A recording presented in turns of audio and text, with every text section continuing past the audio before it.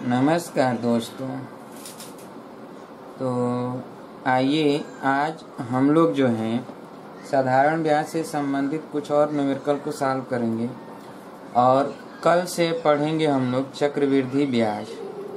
कल से सीआई पढ़ा जाएगा चक्रवृद्धि ब्याज। चक्रवृद्धि ब्याज के पहले फार्मूलों को हम लोग पढ़ेंगे आर्टिकल्स और उसके बाद हम न्यूमेरिकल सॉल्व करेंगे। फिर चक्रवृद्धि ब्याज और साधारण ब्याज दोनों से मिलाकर सॉल्व किया जाएगा। ठीक है? तो आइए, हम लोग जो है, शुरू करते हैं न्यूमेरिकल तो देखिए, दिख रहा है आपके स्क्रीन पे कि कोई धन राशि चार वर्षों में, ये थोड़ा मिस प्रिंटिंग हो गया है, चार वर्षों में सात सौ पचास रुपया तथा सात वर्षों में ये फांड मिसिंग है, सात वर्षों में नौ सौ रुपया हो जाती है। साधारण ब्याज की दर क्या होगा? कह रहा है कि चार वर्षों में सात सौ पचास रुपया और सात वर्षों में नौ सौ रुपया हो जाता है। ठीक है? तो साधारण ब्याज की दर क्या होगा? तो चार वर्ष में तो सात सौ पचास हो रहा है। ठीक है? और चार वर्षों में सात वर्षों में नौ सौ रुपया हो जा रहा है। इसका मतलब ये है कि यहाँ पर दर अगर आर है, दर कितना है? आर है।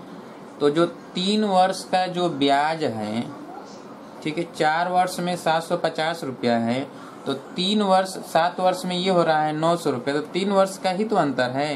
तो तीन वर्ष का जो ब्याज है, वो सात सौ पचास और नौ सौ का अंतर कितना? डेढ़ सौ। तो डेढ़ सौ ब्याज हुआ तीन वर्ष का। तो जो तीन वर्ष का ब्याज है, वो मूलधन पी है, तीन वर्ष है और आर नहीं पता है, ठीक है? तो अपान हंड्रेड बराबर हम लिख दें एक सौ पचास। ठीक है? इसका मतलब ये है कि P into R by hundred के स्थान पर हम लिखेंगे 150 बटा तीन तो ये कितना आ जाएगा? 50 क्लियर है? तो ये तो 50 आ गया, P into R by hundred अब हमें पता है कि जो चार वर्ष का मिश्रधन है A वो तो 750 है ना, P plus P into R into T T की जगह पर फोर अपान हंड्रेड तो अब यहाँ पर P into R by hundred के स्थान पर 50 रख दें। ए के जगह पर 750 रखें तो 750 और P और ये 50 गुड़े चार तो ये हो जाएगा P बराबर 750 माइनस ये 50 चौ के 200 और 200 अगर घटेगा इसमें से तो 550 तो मूलधन कितना आ गया? 550 अब जब मूलधन हमें पता हो गया कि 550 है तो दर निकालना है। तो इसी में रख दें तो R बराबर हो जाएगा यहाँ से R बराबर हो जाएगा 50 गुड़े सौ बटा 550 तो ज़ीरो ज़ीरो कट जाएगा, ग्यारह पचे पचपन, ग्यारह नवा निन्यानवे, क्यों? और नौ सही एक बटा ग्यारह प्रतिशत। नौ सही एक बट्टा ग्यारह प्रतिशत। तो अब यहाँ नौ से एक बट्टा ग्यारह प्रतिशत कौन है? पहला है। पहला हम लगा लेंगे। क्लियर है? सॉल्व कर लीजिए।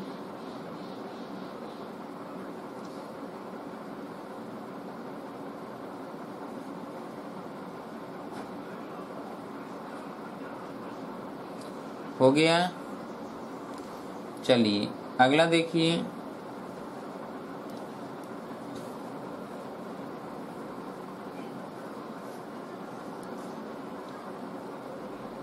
राजेंद्र ने नौ हज़ार छः सौ अस्सी रुपया तीन वर्षों के लिए, तीन वर्षों के लिए बारह प्रतिशत वार्षिक, बारह प्रतिशत वार्षिक ब्याज दर पर लगाया।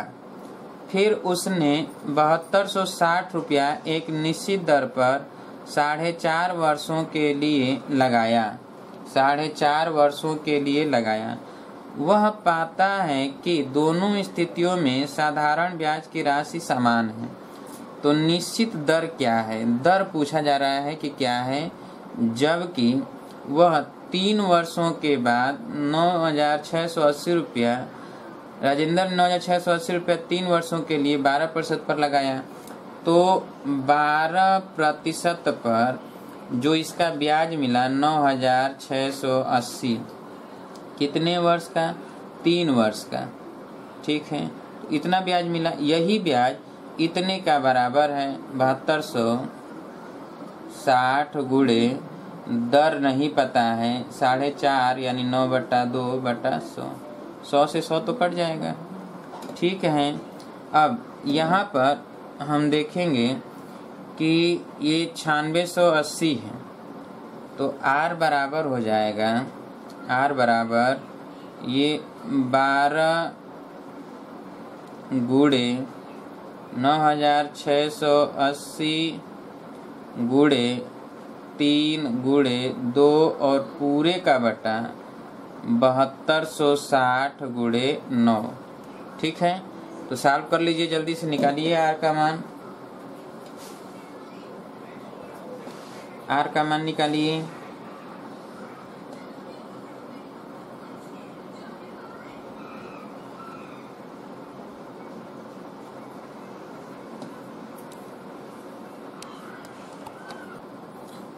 गया? आएगा आपका दस से दो बट्टा तीन प्रतिशत। ठीक है? चलिए, आगे देखा जाए। कोई धन राशि तीन सही एक बटा दो वर्षों में नौ सौ पचास रुपया तथा छह सही एक बटा चार वर्षों में ग्यारह सौ अड़तालीस रुपया हो जाती है तो वह धन राशि क्या है? फिर वही कह रहा है कि साढ़े तीन वर्ष में नौ सौ पचास हो जाता है और छह से एक बटा चार वर्ष में ग्यारह सौ अड़तालीस रुपया हो जाती हैं। तो वह धनराशि पूछा जा रहा है कि क्या होगा? धनराशि कितना होगा? तो चलिए देखा जाए। हमें पता है कि एवन नौ सौ पचास, ठीक है? तो नौ सौ पचास हो जाता है, नौ सौ पचास। कितने वर्षों में? साढ़े तीन वर्षों में। ठीक है? तो नौ सौ पचास हो गया साढ़े तीन। तीन के छः एक सात बटा दो वर्ष में। अच्छा ये छः चौ के चौबीस, एक पच्चीस बटा चार वर्ष में। तो पच्चीस बटा चार वर्ष में ये हो जाता है ग्यारह सौ अड़तालीस। ठीक है? तो अब समय का अंतर कितना है? तो समय ये साढ़े सात वर्ष साढ़े तीन वर्ष है। और ये जो है छ सही एक बटा चार सवा छ वर्ष है। तो हम घटा दें वर्ष की संख्या निकाल लें तो कितना हो जाएगा? तो वर्षों का जो अंतर होगा, साढ़े तीन और ढाई। ठीक है? तो साढ़े तीन में ढाई जोड़ देंगे छः हो जाएगा, और एक बटा चार जोड़ दें तो पौने तीन हो जाएगा। क्यों? तो दो दशमलव सात पाँच, दो दशमलव सात पाँच, या हम इसी को लिखें दो सही तीन बटा चार। यानी चार दुना के आठ तीन ग्यारह बटा चार वर्ष, ठीक है? इसको ग्यारह बटा चार वर्ष हम लिख सकते हैं। तो ग्यारह बटा चार वर्ष में कितना अंतर हो जा रहा है? तो ग्यारह सौ अड़तालीस और नौ सौ पचास का अंतर कर दें। ग्यारह सौ अड़तालीस ये नौ सौ पचास ये इसका अंतर कर दें। तो ये आठ चौदह में से पाँच जाएगा नौ और यहाँ पे बचेगा दस में से नौ जाएगा एक सौ अंठानवे रुपया हुआ। तो एक सौ अंठानवे रुपया जो ब्याज हो रहा है ठीक है? ये ब्याज P into R into T T की जगह पर ये ग्यारह बटा चार, अपान हंड्रेड ये हो गया। इसका मतलब ये है कि P into R upon hundred बराबर हो जाएगा कितना? तो एक सौ अंठानवे और गुड़े चार बटा ग्यारह। तो ग्यारह है कम ग्यारह, अट्ठासी ग्यारह अट्ठासी, अठारह चौक बहत्तर। यानी P into R upon hundred के जगह पर बहत्तर रखेंगे। अच्छा ये साढ़े तीन वर्ष में जो मिश्रधन दिया गया है नौ सौ पचास तो ये हम लिखेंगे P plus P into R upon hundred और गुड़े सात बटा दो। तो P into R upon hundred के जगह पर बहत्तर रख दें। तो ये हो गया बहत्तर। बहत्तर गुड़े सात बटा दो तो ये कट जाएगा छत्तीस। तो ये P प्लस नौ सौ पचास। इसका मतलब ये है कि 950 में से P बराबर हो जाएगा 950 माइनस। अब ये सात का गुणा कर दें। सात छक्के बयालीस और सात तिलिके इक्कीस, चार पच्चीस तो दो सौ बावन घटा दें तो दस में से दो जाएगा तो आठ हो जाएगा। और यहाँ पर बचेगा कितना? चार। चार में से पाँच जाएगा, नहीं तो चौदह में से पाँच जाएगा तो नौ हो जाएगा।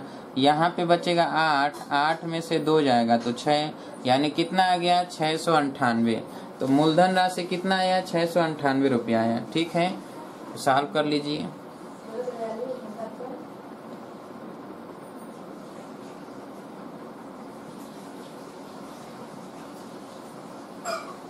हो गया? चलिए, आगे देखा जाए।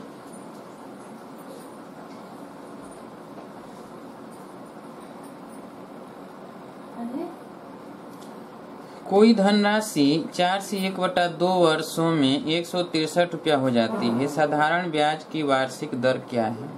ठीक है। अब एक सौ तिरसठ रुपया हो जाता है कितने वर्षों में? तो चार से एक बटा दो वर्षों में। एक सौ तिरसठ रुपया हो जाता है। तो वह साधारण ब्याज की वार्षिक दर क्या होगा? वार्षिक दर पूछ रहा है। ये अधूरा प्रश्न लिखा हुआ है। मिश्रधन दे रहा है कि एक सौ तिरसठ। मिश्रधन दिया है, मूलधन नहीं पता है और समय दिया है। ठीक है?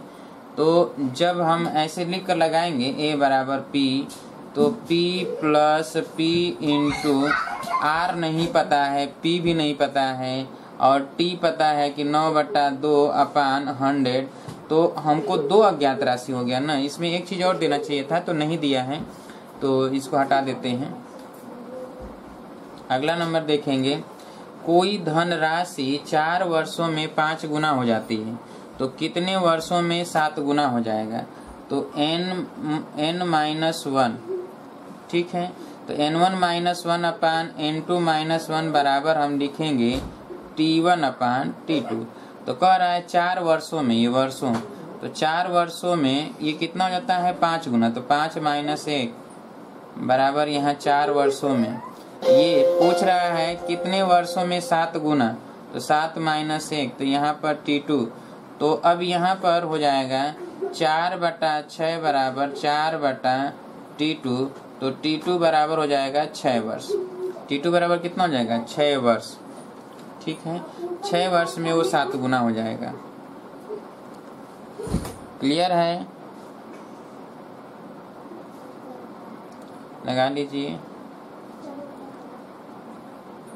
अगला नंबर लिखिए। किसी मूलधन का किसी मूलधन का साधारण ब्याज मूलधन का पच्चीस बटा छत्तीसवा भाग है। किसी मूलधन का साधारण ब्याज मूलधन का पच्चीस बटा छत्तीसवा भाग है। यदि वार्षिक ब्याज दर तथा समय समान हो वार्षिक ब्याज दर तथा समय समान हो तो वह वार्षिक दर क्या होगा? वह वार्षिक दर क्या होगा? तो देखिए आर और टी तो बराबर है। तो आई के स्थान पर आप लिखते हैं P into R into T T भी आर लिख देते हैं अपान हंड्रेड तो यहाँ से जब ये पी निकालेंगे तो पी बराबर जो होगा, अब ये आई यहाँ पे हो गया तो P R square R square बराबर हो जाएगा। हंड्रेड आई ये हंड्रेड इंटू आई अपान ये पी तो आर बराबर हो जाएगा हंड्रेड का वर्गमूल टेन और under root I upon P तो अब आई और पी दिया होगा, तब तो हम ये लगाएँगे। चूँकि कह रहा है आई के पच्चीस बट्टा छत्तीसवा भाग है तो सीधे इसी को हम बता चुके हैं। पीछे आप वीडियो देखेंगे तो उसमें बताए कि एम अपान एन कब? जब एम एम अपान एनवा भाग होता है पी का तब। तो यहाँ पर टेन और under root M upon N पच्चीस बटा छत्तीस। तो दस गुड़े पाँच बटा छ।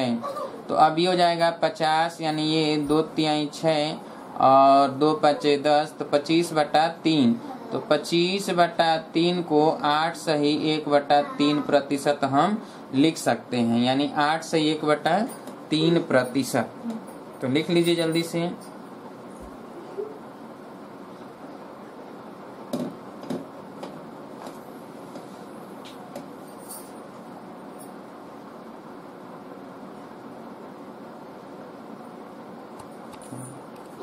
हो गया? चलिए आगे देखिए।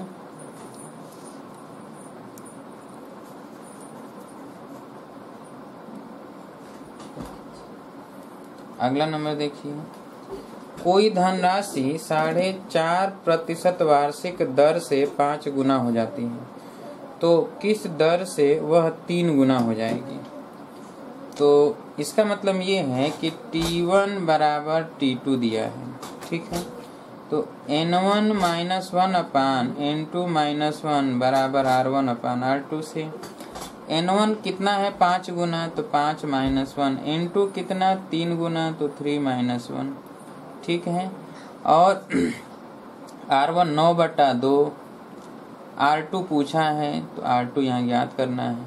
तो आर टू बराबर हो जाएगा। ये तो चार हो जाएगा ना तो चार नीचे चला जाएगा। और ये दो दो ऊपर चला जाएगा। दो गुड़े नौ बटा दो, और ये चार नीचे आ जाएगा। गुड़े चार।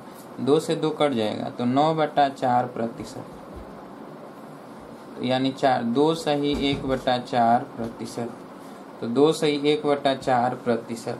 कौन सा है? चौथा ऑप्शन है। लगा लीजिए जल्दी से।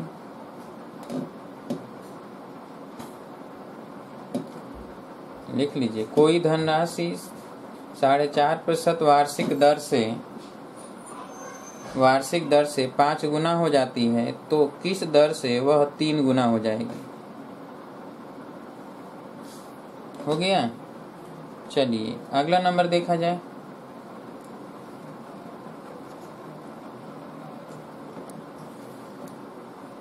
किसी मूलधन का साधारण ब्याज मूलधन का इक्यासी प्रतिशत है। यदि वार्षिक दर तथा समय का संख्यात्मक मान समान हो तो समय क्या होगा? जब r और t बराबर हो और i जो है p का m अपान n गुना हो तो हम बता चुके हैं कि r बराबर t बराबर होता है ten under root m upon n तो इसी में हम रख दें टेन और अंडर रूड इक्यासी प्रतिशत का मतलब इक्यासी बटा सौ।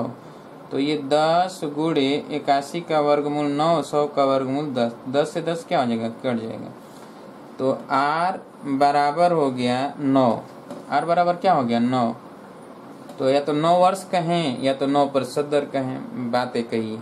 तो कौन सा सही है इसमें? सी लगा लीजिए।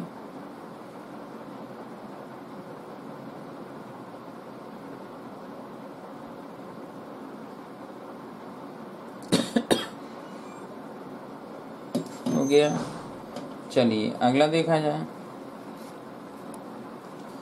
कोई राशि सात वर्षों में पाँच गुना, पाँच गुनी हो जाती है, वह कितने वर्षों में, कितने वर्षों में तेरह गुनी हो जाएगी? तो सात वर्षों में पाँच गुना तो फाइव माइनस वन तेरह गुना, तेरह माइनस वन सात वर्षों में तो seven upon T T two तो टी टू बराबर हो जाएगा, पाँच में से एक जाएगा चार तो सात गुड़े यहाँ पर बारह सात गुड़े बारह, और ये चार नीचे आ जाएगा। तो चार, तीन, बारह, सात लिखे इक्कीस। इसका मतलब कितना? इक्कीस।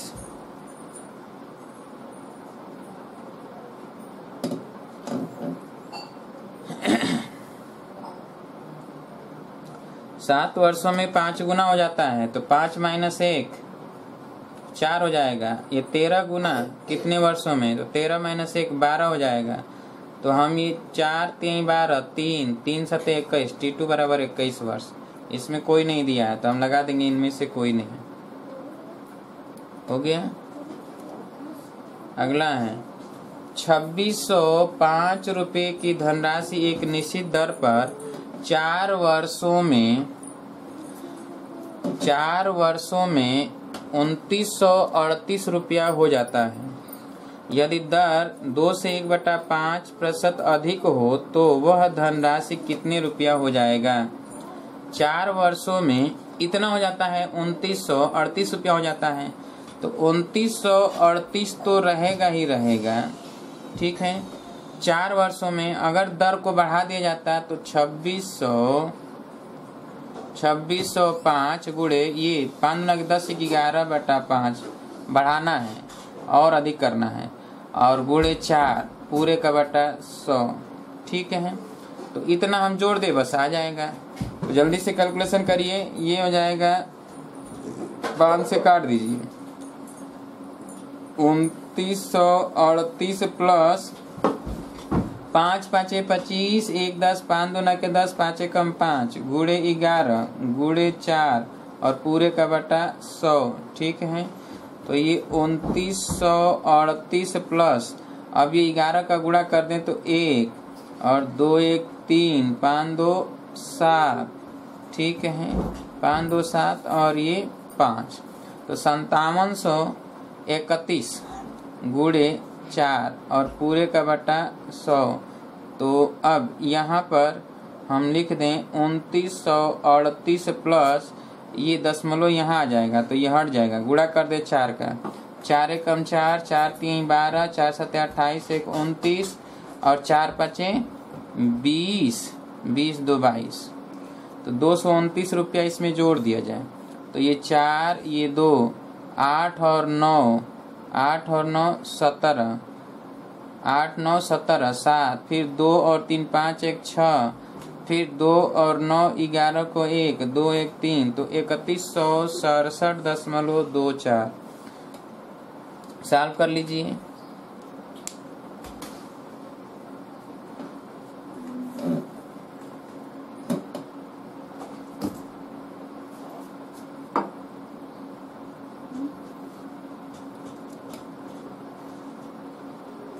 हो गया?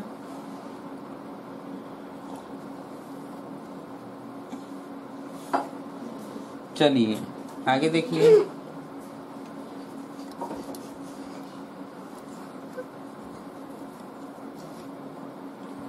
एक धनराशि साढ़े पाँच वर्षों में स्वयं की नौ सही एक बटा चार गुना हो जाती है। ठीक है? वह कितने वर्षों में, कितने वर्षों में स्वयं की तेरह से ही एक बटा दो गुनी हो जाएगी? इसका मतलब ये है कि नौ सही एक बटा चार तो नौ चौके छत्तीस, एक सैतीस बटा चार। तो यहाँ लिखे सैतीस बटा चार माइनस वन अपान।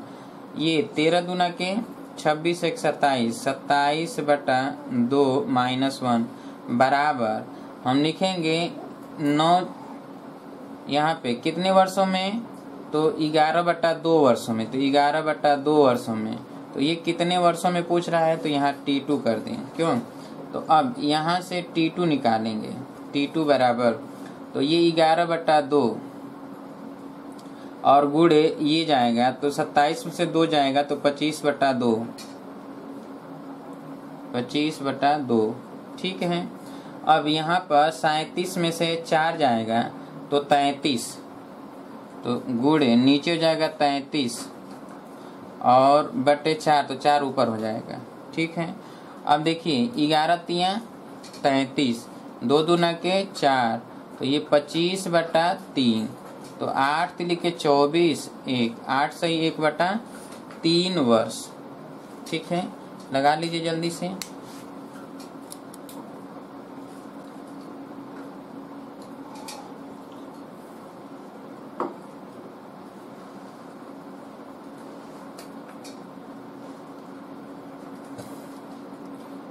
आइए, अगला देखा जाए।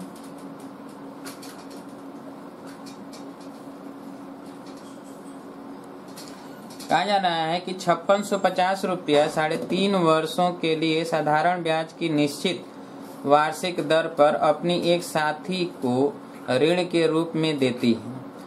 तथा तथा समय की समाप्ति पर चौसठ सौ इकतालीस रुपया प्राप्त करती है।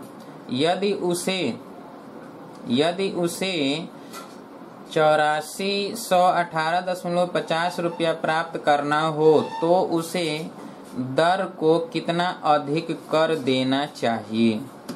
अब समझिए, दर को कितना अधिक कर देना चाहिए?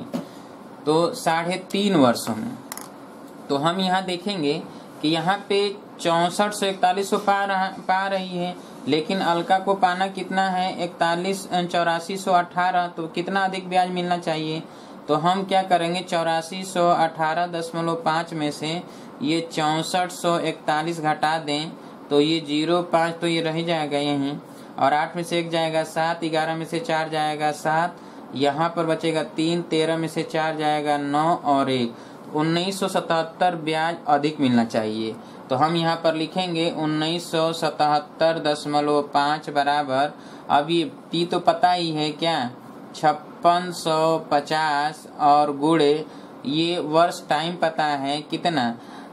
तीन दुना के छः सात बट्टा दो और दर नहीं पता है तो आर और पूरे का बटा सौ।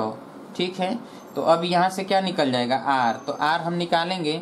तो आर कितना आएगा? तो आर बराबर हो जाएगा उन्नीस सौ ये उन्नीस सौ सतहत्तर दशमलव पाँच गुड़े सौ।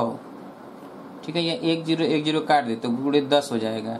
और गुड़े दो, और पूरे का बटा हो जाएगा, ये हो जाएगा पाँच सौ पैंसठ और गुड़े सात। अब इसी को सॉल्व करना है। तो सॉल्व करिए, जल्दी से निकालिए।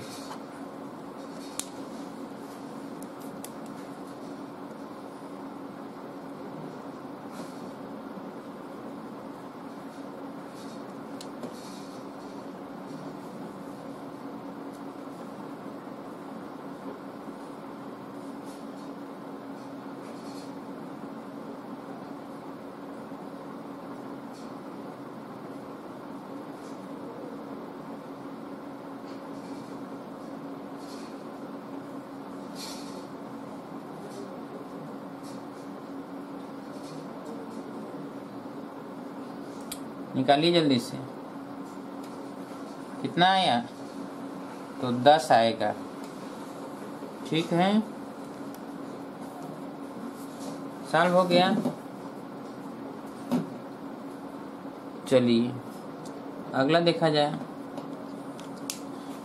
ए तथा बी ने क्रमशः बहत्तर सौ तथा इक्यासी सौ रुपया साधारण ब्याज पर क्रमशः वर्ष, तीन वर्षों के लिए ये नहीं दिया है, यहाँ पर देना चाहिए था। ठीक है? तो तीन वर्षों, मान लीजिए चार वर्ष व तीन वर्षों के लिए उधार दिया जाए। समय की समाप्ति पर बी द्वारा प्राप्त ब्याज, ए के ब्याज से सात सौ उनतीस रुपया अधिक है। ठीक है? तो दोनों के द्वारा प्रदत्त वार्षिक दरों में क्या अंतर है?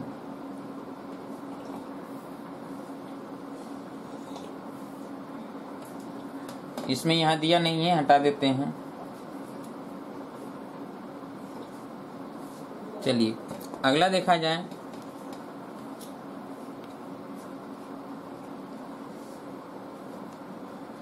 कह रहा है कि चौहत्तर सौ रुपये की राशि पाँच वर्षों में इक्यासी सौ रुपया हो जाती है। दर को कितना कम कर दिया जाए ताकि मिश्रधन पचहत्तर सौ पैंतालीस रुपया हो जाए। इसका मतलब ये है कि इक्यासी सौ पहले हो जा रहा है और उसको हमको करना है पचहत्तर सौ पैतालीस तो घटा दें। ठीक है? तो पचहत्तर सौ दस में से पाँच जाएगा, पाँच। नौ में से चार जाएगा, पाँच। क्यों? अब यहाँ पे बचा कितना? तो दस। दस में से पाँच जाएगा तो पाँच, यानी पाँच सौ पचपन। कितना? पाँच सौ पचपन रुपया कम करना है। इसका मतलब राशि कितना है? चौहत्तर सौ। तो हम पाँच सौ पचपन बराबर लिखेंगे। चौहत्तर सौ गुड़े पाँच गुड़े आर बटा सौ। तो ज़ीरो ज़ीरो काट दिया जाइए। तो आर बराबर हो जाएगा पाँच सौ पचपन बटा पाँच गुड़े और ये चौहत्तर। ठीक है? अब ये पाँच से काट देते हैं। तो ये एक सौ ग्यारह। अब भाग दे दें एक सौ ग्यारह में चौहत्तर का।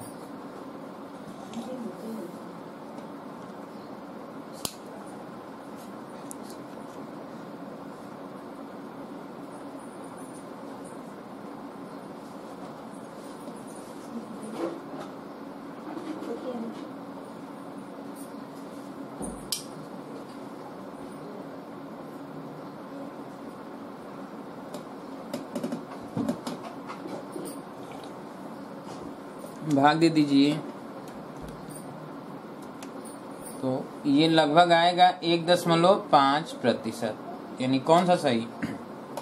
बी सही होगा। ठीक है?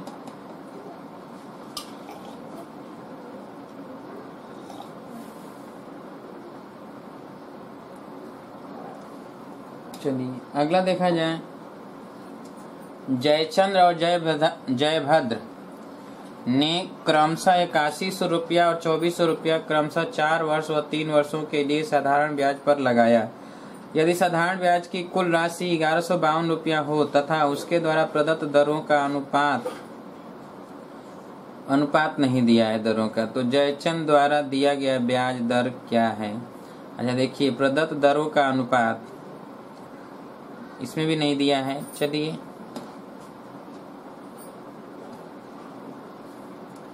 जब मूलधन को चार गुना, समय को एक से एक बटा चार गुना तथा दर को सात बटा दस गुना कर दिया जाए तो साधारण ब्याज कितना गुना हो जाएगा?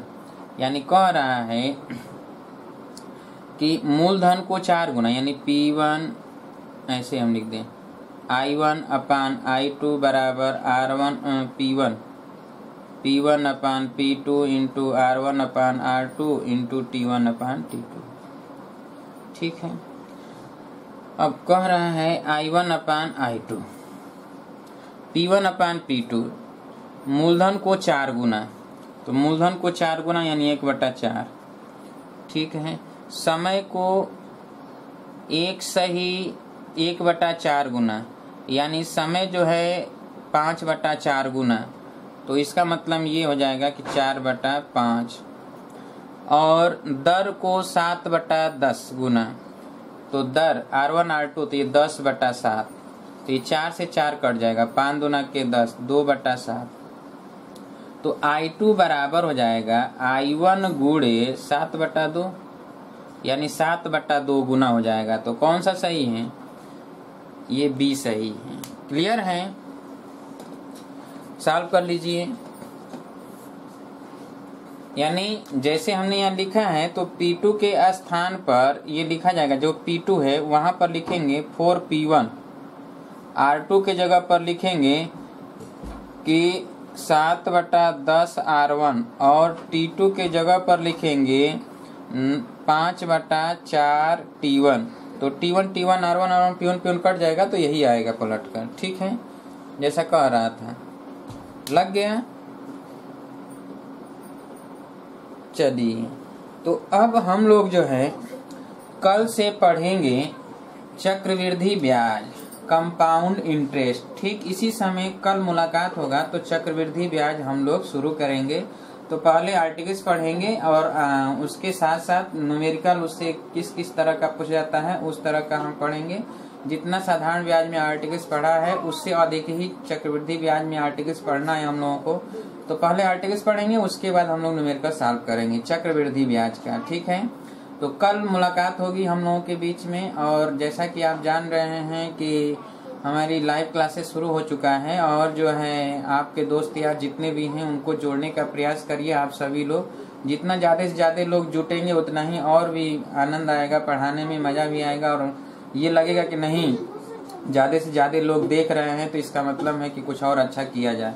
और अच्छा तभी हो पाएगा जब आप लोग जो है अधिक से अधिक संख्या में देखेंगे और दिखाने का प्रयास करेंगे। हम अपनी तरफ़ से प्रयास कर रहे हैं और अगर संख्या नहीं बढ़ेगा तो फिर ऐसा ना हो कि कहीं हमें बंद करना पड़े। तो आप लोग बढ़ाइए संख्या, जितना ज़्यादा से ज़्यादा संख्या बढ़ाना चाहते हैं उतना बढ़ाइए ताकि जो है क्लास ऐसे ही अनवरत चलता रहे, ताकि न कोई दिक्कत हो आपको। आप घर पे बैठे ही आराम से पूरा का पूरा टॉपिक पढ़ लें। ठीक है? तो कल मुलाकात होगी पुनः इसी समय। नमस्कार।